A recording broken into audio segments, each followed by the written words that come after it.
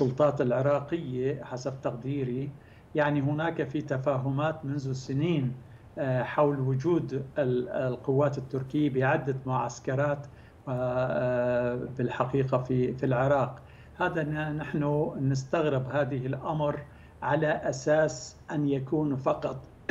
بمقابل المياه